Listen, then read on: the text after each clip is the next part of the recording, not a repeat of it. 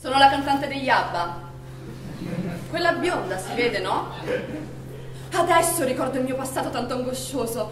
L'avevo rimosso completamente. Io. Io ho avuto due uomini nella mia vita. Due uomini nello stesso tempo. E sono rimasta incinta di loro. Io, ma io non mi chiamo Agnetta, io.